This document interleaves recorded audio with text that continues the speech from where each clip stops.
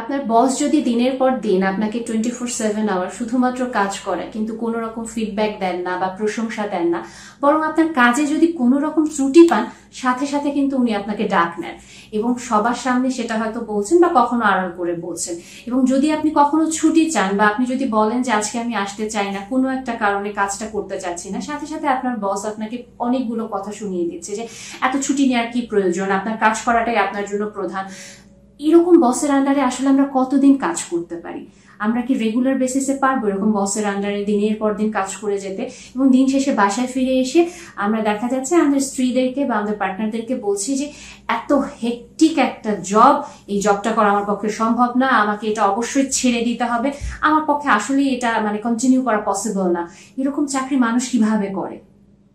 একটু যদি আমরা চিন্তা করি যে আমাদের বাসায় বা আপনার গৃহিণী বা আপনার বাসার যিনি কর্ত্রী, উনি যখন দিনের পর দিন ওনার বাসার কাজগুলো করে যাচ্ছেন, ঘুম থেকে উঠেই একটা রুটিনে চলে যাওয়া, দ্রুত আপনার নাস্তা রেডি করা বা তদারকি করা, বাচ্চাকে রেডি করা, সবাইকে দেখভাল করা, আবার সারাদিনের জন্য ঘরটা গুছিয়ে ফেলা এগেইন আবার আপনারা যখন অফিস থেকে বাচ্চারা বাসা থেকে ফিরছেন, একই কাজগুলো করে যাওয়া, তাই না?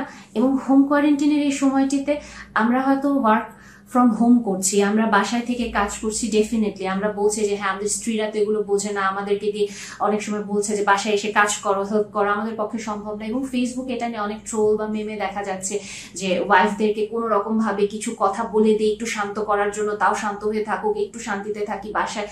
আসলে একটু চিন্তা করি যে আমরা কি আমাদের স্ত্রীদেরকে ফর গ্রান্টেড ধরে নিচ্ছি?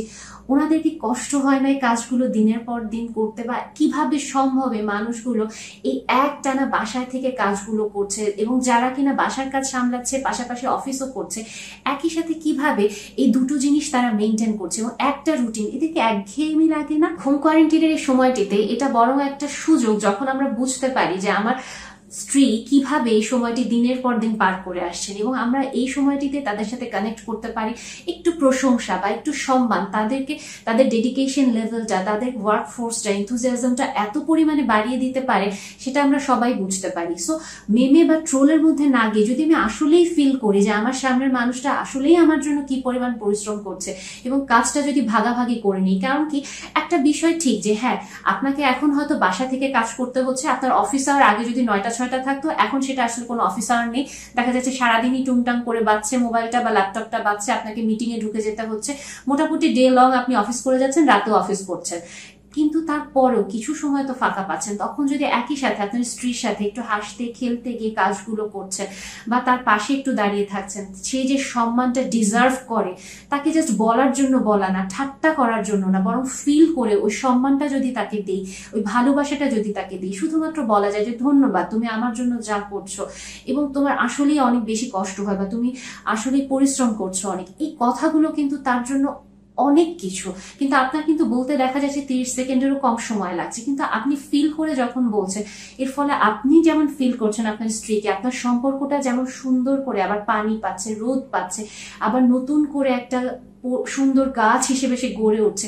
একইভাবে আপনার সন্তানও দেখছে যে বাবা মা হাসছে, যা কিনা তাদেরকেও ভালো রাখছে সো হোম কোয়ারেন্টাইনের এই সময়টিতে আমরা একজনের উপরে কাজের ভারটা না পুরোপুরি চাপিয়ে না দিই। আমরা বরং ভাগ করে নিই। আমার স্ত্রী যেমন কিছু কাজ করবেন, তেমন ঠিক একইভাবে আমিও কিছু কাজ ভাগ করে নিব, আমার সন্তানদেরকেও আমরা কিছু কাজ ভাগ করে দিব। এবং এই কাজটা যখন আমরা সবাই মিলে একসাথে পরিবারের সদস্যরা করছি, দিন শেষে আমরা না হাসছি। এবং একটা ব্যাপার কি, একসাথে থাকতে গেলে কিন্তু একটু রাগ হয়, একটু মনোমালিন্য হয়। কারণ এক বলে না যে হাড়ি পাতিল একসাথে থাকতে গেলে একটু ঠোকাটুকি লেগেই যায়, ওরকম কিন্তু হয়ে যায়। কিন্তু ইগোটাকে ধরে না রেখে যদি আমরা এটা একটা চ্যালেঞ্জ হিসেবে নিই যে বাসায় কে কার আগে এসে বলব সরি ভুল হয়ে গেছে, আর করব না, হাসি দাও। এবং অপরপক্ষ যদি ইটস ওকে বলতে পারি সো তখন সম্পর্কটা না আরও সুন্দর হয়ে যায়। কিন্তু কে কতদিন রাগটা ধরে রাখব, কতক্ষণ কথা না বলে থাকব, আসলে কি আমরা তখন কেউ ভালো থাকব? না কিন্তু, কারণ আমাদেরকে এই যে, এই সময়টাই আমরা ফিল করতে পারছি যে দিন শেষে আমাদের পরিবারই আমাদের জন্য সবচেয়ে নিরাপদ, আমাদের সবচেয়ে কাছে। কিন্তু আমরা যখন একে অপরকে না বুঝে এই যে হেও করছি, বা একে অপরকে ফর গ্রান্টেড হিসেবে নিয়ে নিচ্ছি, বা সম্মানটুকু দিচ্ছি না। তখনই কিন্তু দেখা যায় সম্পর্কের টানাপোড়েনগুলো শুরু হয়। সেটা স্বামী স্ত্রীর মধ্যে হোক, বাবা মা হিসেবে সন্তানের সাথে হোক যে কোনো সম্পর্কই হতে পারে। সো আমরা আসলেই পারি যে আমাদের স্ত্রীদেরকে ওই সম্মানটা দিতে, ওই ভালোবাসাটা দিতে এবং আবার অনুভব করতে যে আসলেই আপনার পার্টনার আপনার জন্য কিছু করছে এবং দিনের পর দিন তার এই পরিশ্রমটাকে আমরা কি আসলেই অ্যাকনলেজ করি? নাকি আমরা আমাদের ঠিক ওই স্বৈরাচারী বসের মতো হয়ে যাচ্ছি?